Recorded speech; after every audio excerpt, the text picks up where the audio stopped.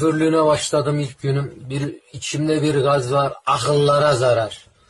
Bir müşteri, iki müşteri, üç müşteri derken son şu köşede bir tane müşteri kaldı. Onu da indirdim. Şöyle durdum. Bir osurdum.